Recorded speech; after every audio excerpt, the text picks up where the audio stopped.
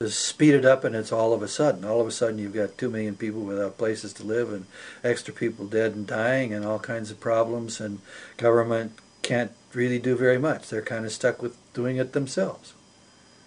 And of course if the news was really telling the stories about these tent cities, they'd tell a lot of stories about how people are actually getting down and figuring out how to help each other. Now that's an event which, in which the kind of chaos that we're having in the United States with regard to people losing their homes to foreclosure and their jobs and all the chaos that goes with that.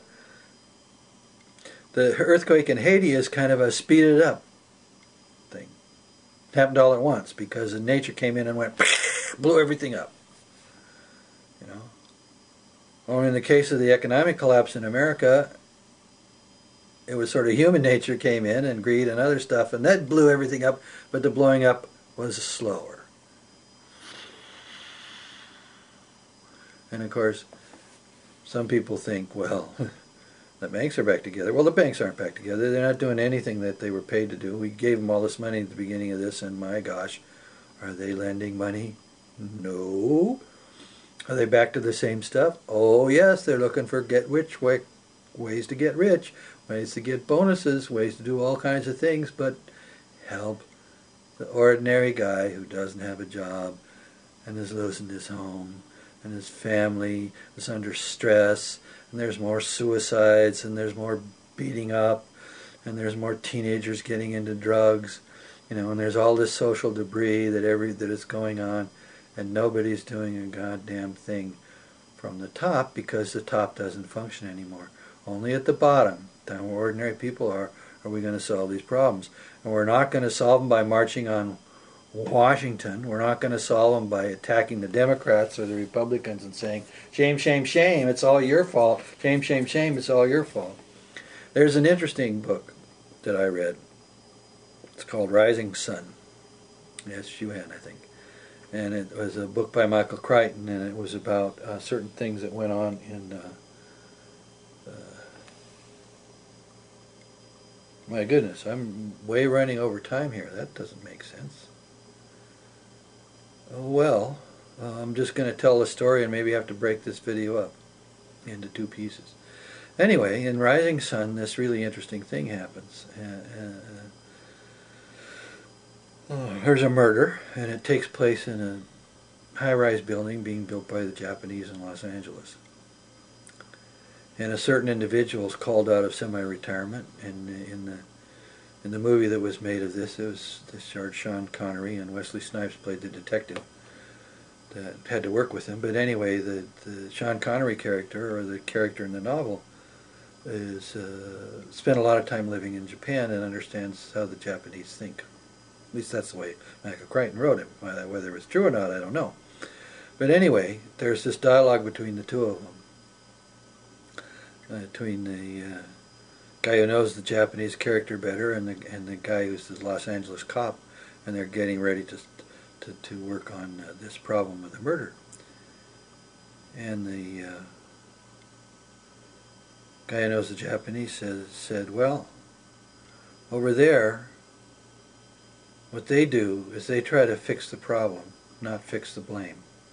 Over here, we're very involved in fixing the blame. We want to run around and say, they did it, or they did it, or I didn't do it, it's the other guy that did it.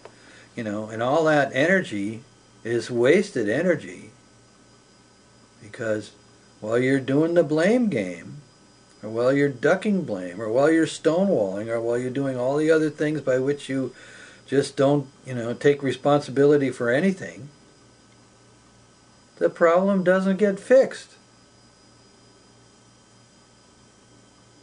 And that's the situation we're going to be in here with this economic stuff.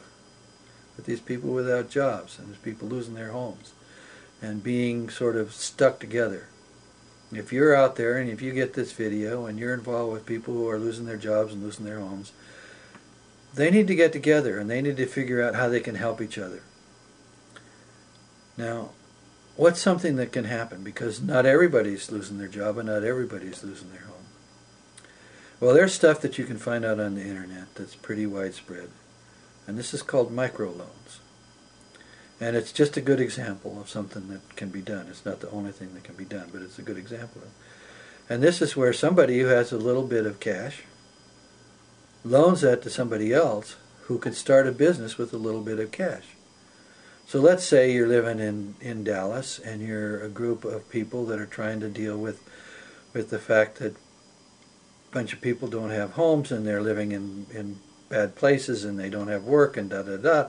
And you're one of the people that's got a little bit of money and you say, well, look, tell you what, come to me with a proposal about how you might make some money and uh, maybe I can give you a microloan.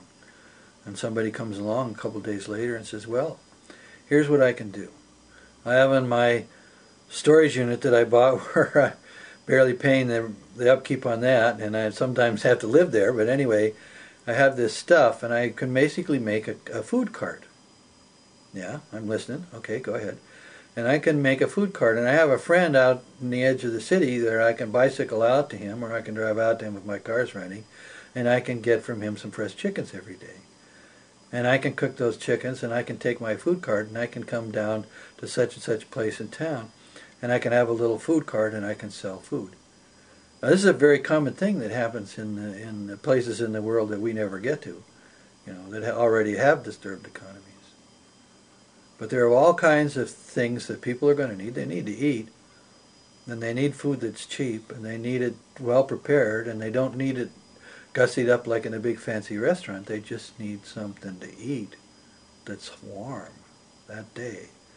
So somebody can get together and they can produce a, food cart and they can make some food and if the city will get out of the way and not hassle people solving problems this way, then maybe some stuff can get done. But I pretty much guarantee you, if people start talking to each other and start getting together with the idea that, uh, well, we can do something that's uh, important, we can do something that's uh, helpful. I can sit down with other people and I can think, how can I help you? And they can sit down with me and they can think, how can I help you. And between the two of us and the five of us and the ten of us, we might be able to accomplish something that I can't do alone. If I'm wandering around this city banging on doors trying to get a job and going home to my wife, and the little money I have, I stop at the liquor store and I get, you know, a pint, and I come home and I get drunk, and then I yell at her and the kids and start throwing things because I'm so unhappy with myself. Well, that's pretty destructive. That's not going to get anywhere. But we can help each other. It's there. The wisdom is there. The wisdom is distributed. The wisdom is in the present. Americans are can-do people. Americans do solve problems. Government doesn't work. In fact, the best thing government could do if it really wanted to help us is to get out of the fucking way. And let us get on with solving these problems ourselves when people are finding solutions to things at the bottom end of the structure, you know, the top doesn't work, isn't helping, da da da, all it's going to do is make promises and argue amongst itself. But down here at the bottom, where people got to do stuff, instead of getting into that argument as if we're going to get the top to work, we talk to each other, we work with each other, we make that work. You'd be surprised just exactly what can happen when we make that work. Now, sorry this video ran on a little longer than usual and I'm going to have to divi have divided it up, but uh, that's life.